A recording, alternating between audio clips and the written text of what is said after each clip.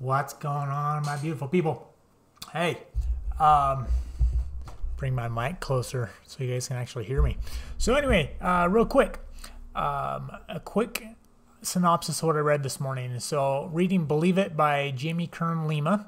And uh, in this chapter, she's meeting up with her company to sell uh, or potentially sell uh, to a larger company.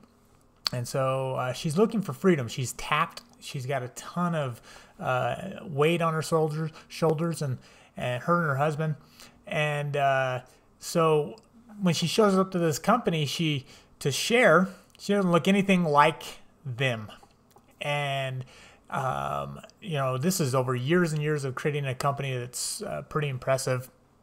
And uh, so she figured, you know, she might experience some rejection because she doesn't look the part or whatever. Uh, but she was so beyond that because she'd been really successful. And so, anyway, um, what what uh, I keyed in on is that is the fact that she was there and she knew why she was there. So uh, the whole point of gaining freedom in what she in her endeavor. Um, and so this this is kind of kind of neat. So she says. Um, I didn't do exactly what they were doing. I complimented it. I didn't feel pressure to conform. I had learned this lesson. Not fitting in can be a superpower. And so she knew why she was there, what she stood for, and and so why is this important? Why am I sharing this today? So we have to be kind of odd to be uh, number one, as Dr. Seuss says, and so we have to be a little different than where we've uh, we've been if we want if we want to impact others.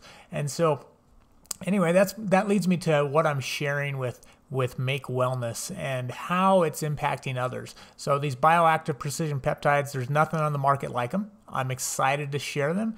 You know, the there's six amazing products, and I can't wait for you guys to uh, see them in action in your life. So if you have some questions, comment make below, and let's get started with sharing you uh, information that will benefit and change your life. Have an amazing day, and let's go be number one together. Bye.